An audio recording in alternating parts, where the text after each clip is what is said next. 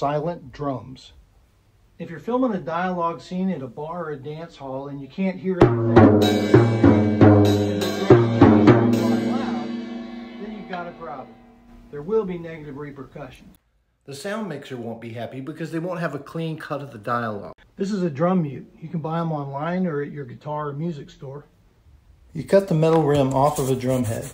Then you glue the head to the mute. And for the cymbals, you carpet tape two matching cymbals together. And it kills the sound. It's a symbolic gesture. Before, after. Kills the sound by like 90%. You can't beat the sound. Hoping I'll snare a follower or maybe drum up some likes with this video. I know that was a lot of drum puns. It was like um, a zillion of them.